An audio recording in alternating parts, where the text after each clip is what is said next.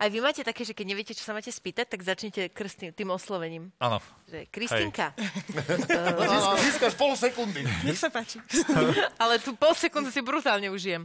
Poznám takého, čo sa aj pekne pozdraví. Dobrý deň, vám prajem Kristinka. No tak ja by som sa asi takto opýtal, medzi tým idú štyri veci. Áno, iste.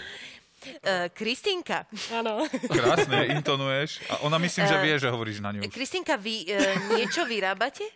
Nie, Kristinka? Nie. Dobre, Kristinka. Nie, Zuzanka. Kristinka sa volá, jasné. Hej, hej, hej. Ale nie je to výroba ako taká.